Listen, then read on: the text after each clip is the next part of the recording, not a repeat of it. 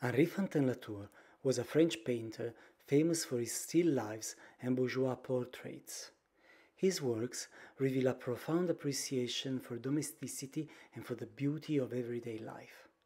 Let's have a look at this very small painting from 1864.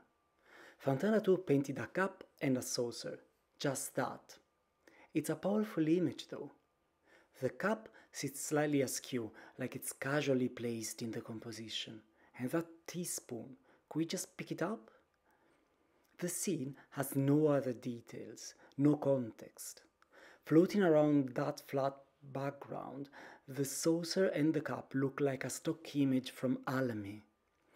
What makes this tiny painting so impactful then?